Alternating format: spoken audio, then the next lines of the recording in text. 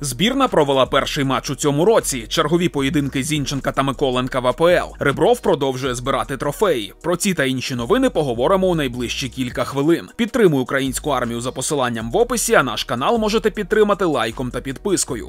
Збірна України провела свій перший матч у 22-му році, і команда Олександра Петракова без легіонерів у складі переграла Гладбахську Борусію 2-1. Перед матчем наші хлопці вийшли у спеціальних футболках з рідними містами футболістів та написом Сильніші разом. А сам поєдинок провели у спеціальній новій формі. Відзначаємо і центральне коло, яке перетворили на значок ПІС. Вже на 9-й хвилині свого дебютного матчу за збірну лік голам за національну команду відкрив Михайло Мудрик. Півзахисник Шахтаря гросмейстерський розібрався в цьому епізоді. П'ять хвилин німцям вистачило, щоб відігратися. Рахунок зрівняв нос. Але переможну крапку у грі все ж таки поставили українці. На 82-й хвилині Піхальонок теж поклав лік своїм голам за збірну, і Україна відсвяткувала перемогу у цьому благодійному протистоянні. До речі, пропонуємо вам поділитися у коментарях своїми враженнями від гри нашої команди.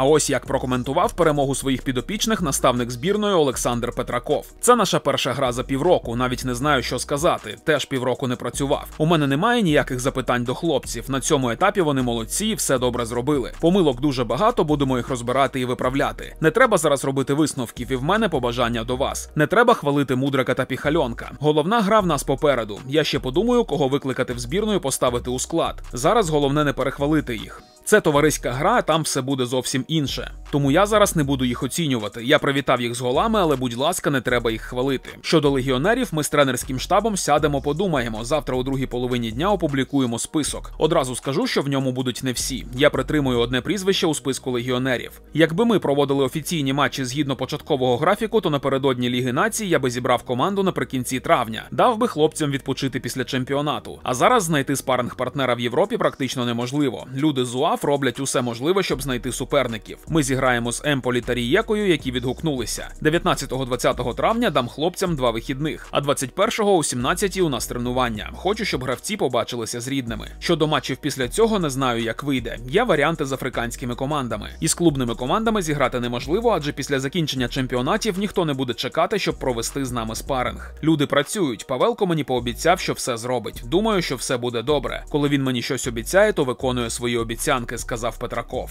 Тим часом наші легіонери продовжують боротися в АПЛ на протилежних фронтах. Манчестер Сіті ще на крок наблизився до чемпіонства, розібравшись із Вулвергемптоном 1-5. У цьому матчі пофеєрив Кевін Де Брюйне, який зробив покер. Олександр Зінченко провів на полі усі 90 хвилин. І за версією SofaScore отримав одну з найнижчих оцінок у складі Сіті 6,8. Зінченко п'ять раз відібрав м'яч, зробив один винос, віддав 87 передач на своїх партнерів, одна з яких була ключовою. І Сіті знову повертається на перше місце та випереджає Ліверпуль на три очки за два тури до фінішу АПЛ.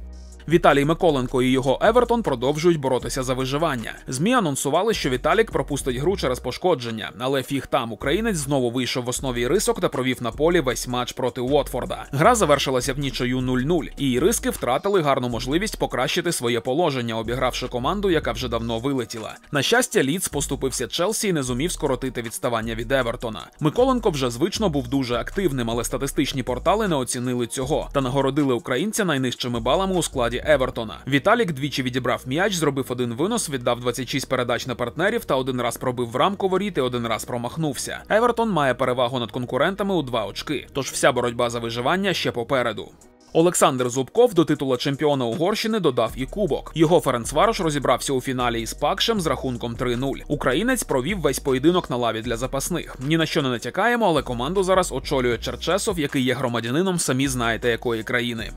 А колишній тренер Ференцвароша Сергій Ребров продовжує збирати трофеї в ОАЕ. Його Аль-Айн став недосяжним для конкурентів у чемпіонаті та виграв титул. Аль-Айн робить це вже в 14-те, і це є рекордом країни. Для Реброва це шосте чемпіонство в тренерській кар'єрі. До цього він двічі перемагав в УПЛ з Динамо та тричі ставав чемпіоном Угорщини із Ференцварошем. Португальське видання Ебола запустило голосування на найбільш провальний трансфер португальського футболу у сезоні, що спливає. І серед номінантів опинився і наш Роман Яремчук. Форвард Бенфіки в цьому сезоні провів 42 матчі, в яких забив 9 голів та віддав 2 асисти. На момент створення цього відео Яремчук займає третє місце у цьому голосуванні, набравши 15% голосів. Його випереджають Рубен Семеду спорту та партнер по команді Жоау Маріу. І на цій новині наш сьогоднішній дайджест добігає кінця. Дякуємо вам за перегляд. Бережіть себе і скоро почуємось.